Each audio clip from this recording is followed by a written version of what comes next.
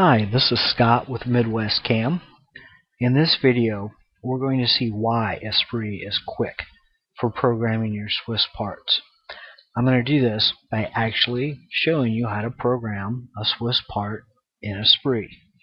Some of the things you'll see in this video are the usage of Esprit templates, saved processes, and some of the new features in Esprit 2014. I'll be programming this part as though I were a typical Esprit user and I'll just be explaining things as I go along. So let's get started. We'll start by opening up an Esprit template and we're going to program this part on a Star SR32J with the Magic guide bushing. So we'll open up my Esprit template for that. And in my template, I already have the tools loaded um, and the proper station. Let's start the simulation here. You can see uh, the tools and all the correct stations. If you want to learn more about uh, any of the items I kind of gloss over, like the templates and some of the uh, the saved processes, there are plenty of videos on YouTube, um, and I'll be making more uh, videos in the future. So here's my template. Let's simply open up our part and this is a, an inventor uh, an Autodesk inventor part and we'll merge that here into my Esprit template. Okay so here's my part. Let's put these dialog boxes over here. And let's take a quick examination of the part. If we uh, go to the solids tab here and pick uh, an outside face we can see the diameter. Uh, we'll pick uh, this face here, we can check out the uh, the length of the part, um, diameter of these cross holes. You kind of get an overview of uh, what what we're dealing with for our processing on this part. So based on the diameter of the part, I'm going to go to my machine setup, and we're going to change our uh, bar diameter to something a little more appropriate.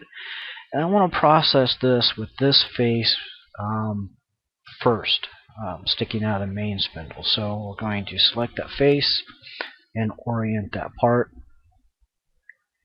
this way. So this is a, a Star Swiss machine, so our uh, main spindle and, and gang working turret is over here. And change my active layer, and we're going to use another new Esprit 2014 feature, uh, the turning feature recognition.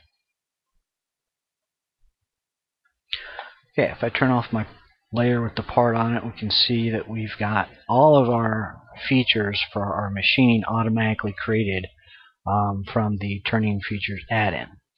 Alright, let's do something here for our Swiss machine. We're going to change all of these um, features to the YZX work coordinate. We don't need the G55 and the G54 uh, for our Swiss turning. And then let's rename our features just to be um, consistent.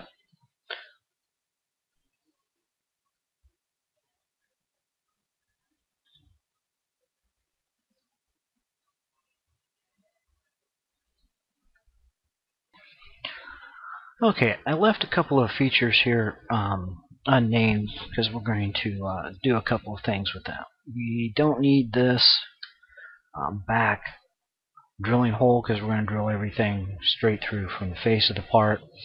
And we're going to take um, this back ID chamfer feature here because what I'm planning on doing is in the subspindle coming down and cutting this face and coming across center and picking up the chamfer here with the same tool. So we're going to make that um, feature symmetrical across the center of the part and we don't need this feature so we can get rid of that. I'm using this feature for the cutoff operation so what I'm going to do is select these two features and we're going to derive the geometry from those two features. You see here's my geometry and we're just going to auto chain that geometry. Okay, so we can see we've got this feature. Let's rename this to um, back face. So I now have my features that I need for machine.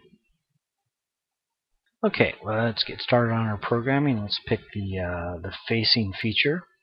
and we'll go to our um, contouring operation and we're going to open up a um, a face turn operation.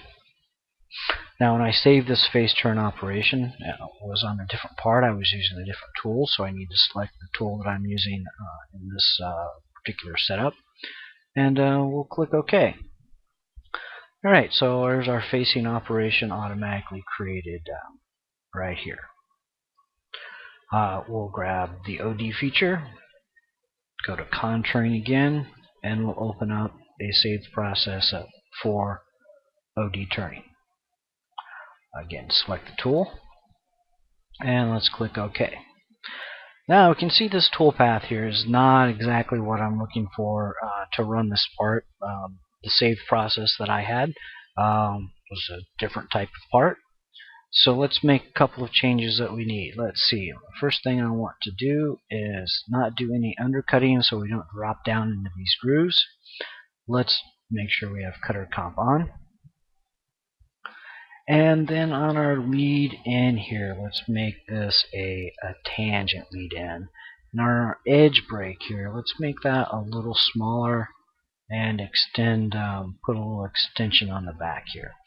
I also want to extend my whole toolpath back beyond the end of the feature here. So let's go up here to our end extension and add an eighth of an inch so we're cutting past to where our uh, cutoff tool will come in.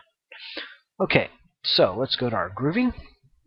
We'll select both of our grooving operations and I'm going to select uh, grooving and this is already set up because of a previous part or practicing this part before. This is, has exactly the operation already saved in Esprit even though uh, I've closed down Esprit and opened it, opened it back up again. The set last time I did a grooving operation, this is exactly how it was set, so this is exactly what I want. So there's our grooving.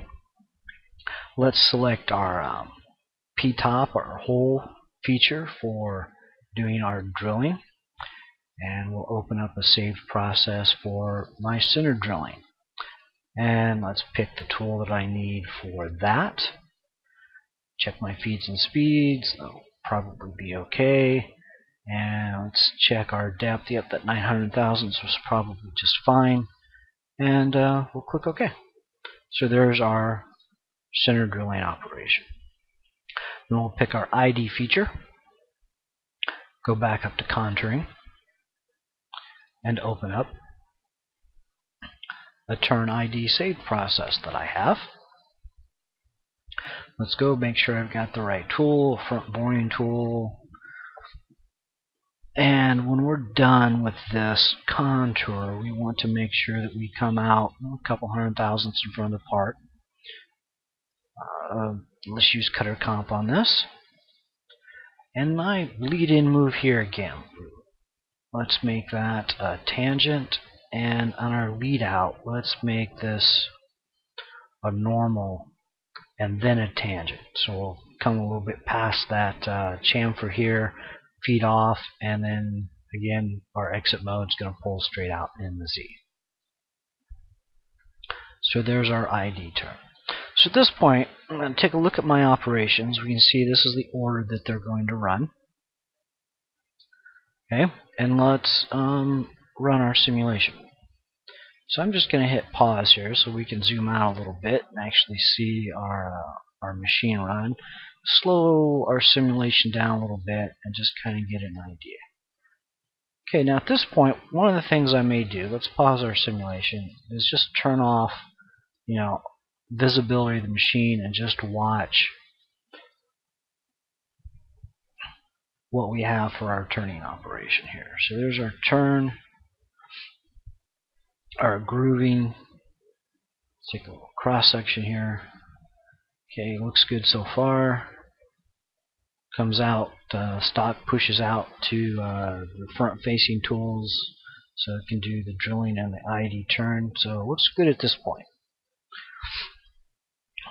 Okay, let's take a look at our model here. So we've got really all the basic turning stuff done um, from the main spindle. We need to uh, do our cross drilling on our holes.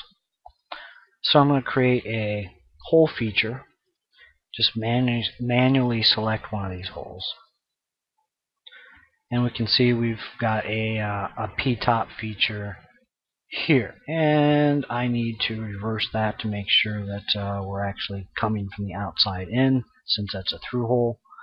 Um, confirm that, so we're good with that. That's a 48 thousandths diameter hole. Now, one of the things that I like to do, especially with cross drilling on lathe parts, is to do a little spiral operation uh, before we spot drill and drill so we have a nice flat for those tools so they don't lead off any. So we're just going to use this feature that we created and we're going to create a, uh, a spiral milling operation. I have a process saved for that, cross holes prep spiral mill. And yep, make sure we have our tool selected and we should just be able to click OK when we zoom in here, we can see we've got a little spiral milling operation, putting a flat just into uh, this OD of this groove here. Okay, and let's now select our uh, P-top again and do a drilling operation for our spot drilling. So let's go cross spot drill mains, the name of that feature that I saved. Remember, you can name your saved processes anything that you want. Those are just some of the names I picked out as I was creating them. Okay, so we've spiral milled, we've spot drilled. Let's go in and drill it to size. Um, cross drill.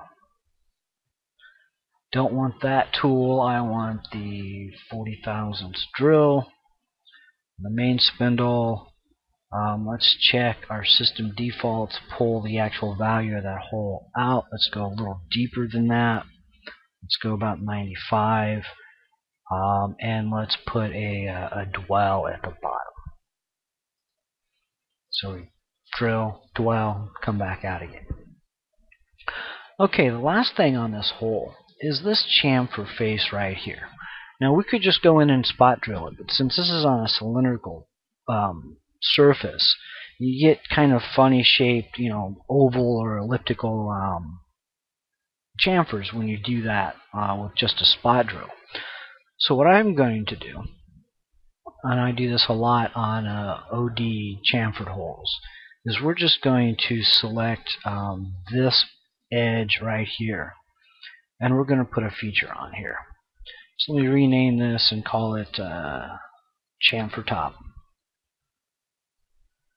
and we're just going to do a contouring operation around this with a um, chamfer tool.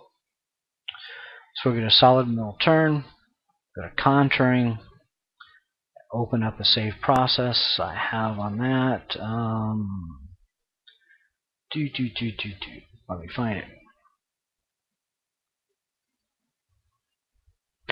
Chamfer on OD holes with chamfer mill. Well, that makes sense. Okay, so let's make sure I've got, yep, my little tiny 16 spot drill. These are pretty small holes. And we should be good to go with that. Oh, okay. So there's my milling operation. Now the last part I did this on must have been a fairly uh, a little larger part, so my entry move here is a little bigger than what I want. So let's go in and change that clearance. Let's make that about 80 thou. So now we're not feeding in quite so far into our part. Okay, let's um, go back to our list of operations and select just these four operations. And let's go to a saved view that I have for my simulation. Okay, and let's actually watch these operations. Let's uh, rotate this around just a little bit more. There we go. So there's my spiral mill. Putting a little flat on the part, change tools, our spot drill, our drill, and our chamfer. Now notice, if we look at the properties and simulation properties, as this is running, we're moving in the X, Y, and Z. Right? This is a, a 3D operation put on the outside of this chamfer so that our chamfer is a consistent size throughout uh, the change in this OD radius. Okay, now I need four of these holes, correct? Yes, four holes. So I'm going to take all four of these operations. This one, two, three, four operations, and we're going to rotate these around. We need three copies through 360 degrees, and we're going to rotate around the center axis. Okay, so now you can see it's going to put those all in the same order. So it's going to run each operation or each hole complete, but we want to group these operations together. So I'm just going to simply select the three additional spiral mill operations and put them together. Then we've got the, the cross spot drilling. So we'll grab the three copies and put those with the first one. And then we have the actual hole drill itself. And then that leaves the um, the chamfer operation on top. Okay, so that's everything's pretty well done for the main turning or the main spindle work at this point. We need to cut off our part. And actually before we cut off our part, we actually need to come pick it up with the sub spindle. So we'll go back up here to lathe work. We're going to do a pickup operation and I could open up a saved process for that. Um, pick up with sub spindle and click OK. So we now have on head 2 we have the sub spindle coming up. We need a wait code. Okay, we want to pick up after we've done um, the last operation here. So in Esprit to put in a wait code, one of the simplest ways to do it is just simply drag and drop. And I now have a wait code. Okay. Then after the pickup, we're going to cut off.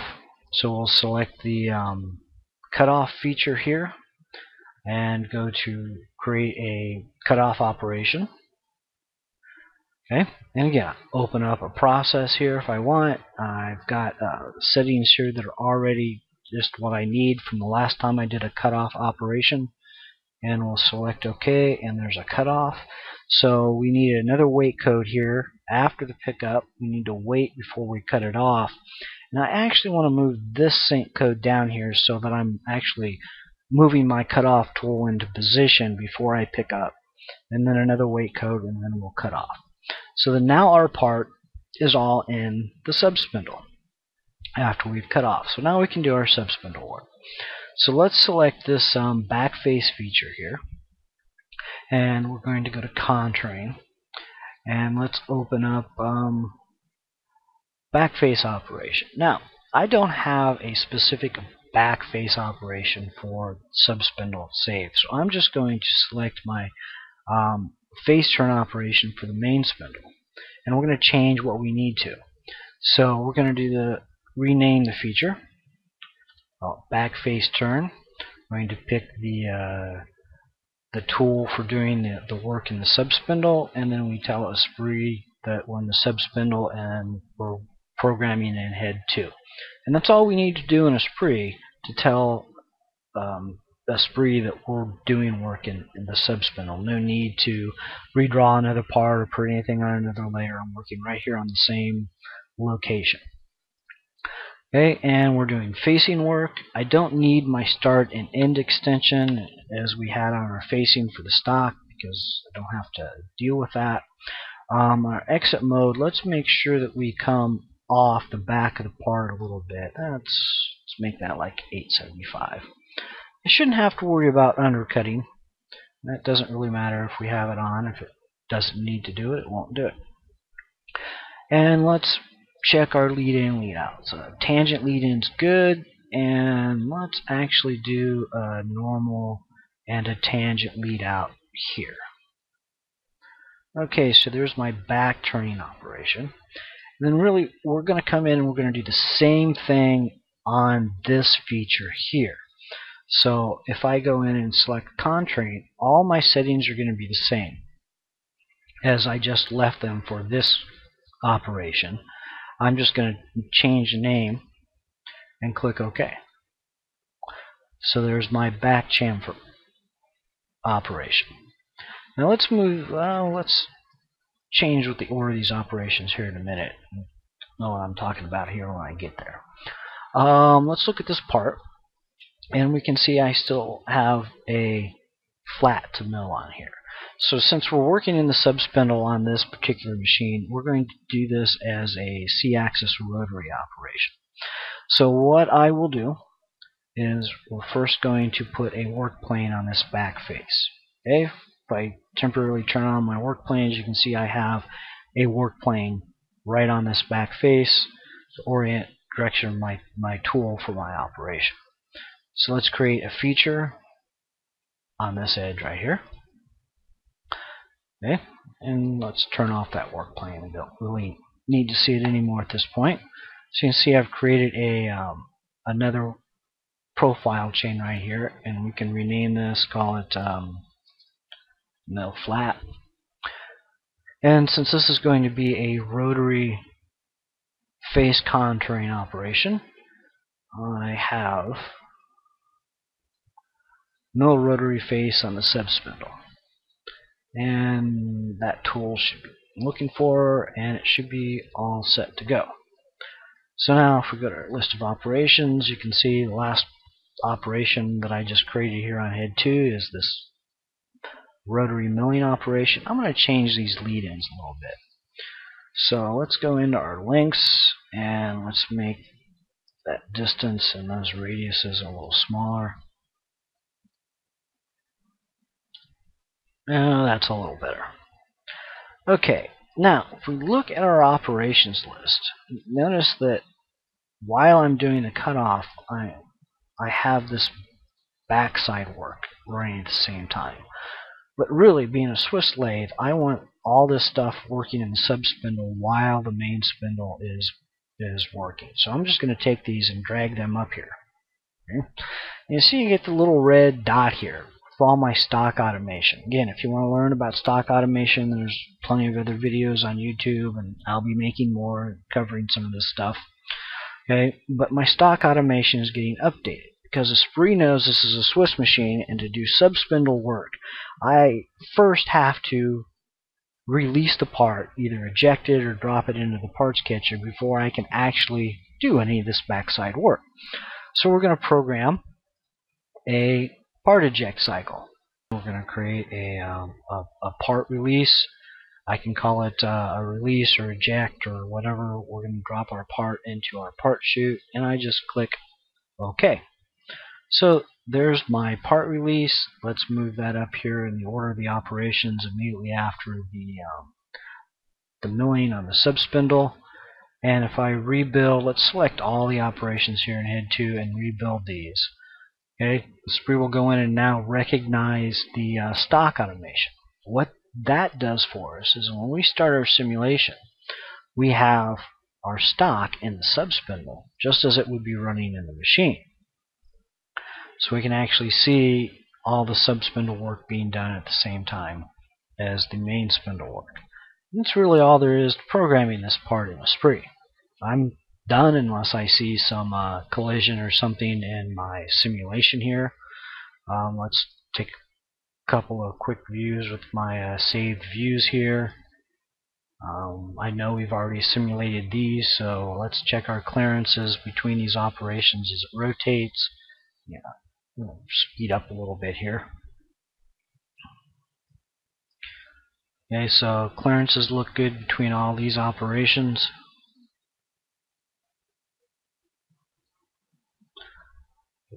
Pick up, let's run through that pick up and cut off. Again. What I'm going to do is select just these last operations here. See, we've already dropped off the part. And then pick up and cut off. Looks good. Let's run that one more again. Slow that down a little bit.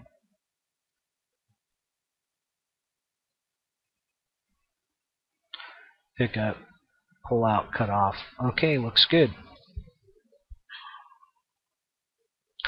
now at this point all we need to do is generate our code to do that we come up to common machining and we select NC code, well, we get it at F9, which is the function key. We just select our icon. And here's our code. So let's look at this side by side here. So we can see our main program, you know, tools listed at front, uh, part length set, offsets set, um, few comments here. We can see our uh, bar prep routine and facing, and then we get into the facing of the part, the groove OD, drilling the center, then all the spiral milling, spot drilling, cross drilling, and chamfering operations here. And then into the cutoff. Now, let's take a look at this compared to our operations list here. Then we can look at this subprogram. See everything's block deleted to do finish last part um, operations. So there's our back turning, our uh, our C-axis turning for the mill flat, uh, part release, and the pickup. And check our uh, sync codes here. And 40 and 41 looks good. Got our M82. Looks great. So our code's ready to go. Now, let's send some documentation to the guys on the shop floor. So let's turn off our features here and zoom up a little bit on our part. And we're going to go and create uh, an Excel report.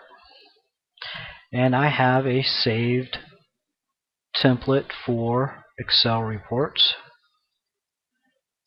for Swiss work. Okay, so let's look at a quick overview on what we've got and what we're outputting here, what we're outputting in the operations list, what information we're seeing in the tooling list. You know, we can put more specific instructions here. Some of our options that are set. We want to output barcodes uh, for each tool and the header. Depends on how you track your jobs in the shop and uh, how we're saving this. So let's click OK and give this uh, about 30 seconds here to uh, create the Excel file for this report.